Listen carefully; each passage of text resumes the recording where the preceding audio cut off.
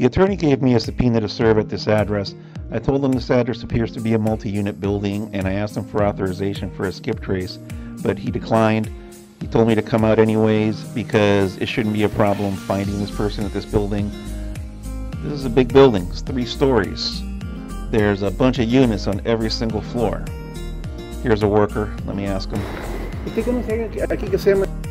I'm not going to say that person's name here. No, no conozco a nadie porque yo estoy trabajando ahí. Of course he doesn't know anything. So let me go inside, just take a look at this place. Wow. Way too many units to start knocking on every single door. Let me see the mailboxes. Of course, no names on the mailboxes. You gotta listen to your process servers. Saves time and money. If you need a skip trace, process service, or investigations, please contact MiamiPSPI.com. We'll take good care of you.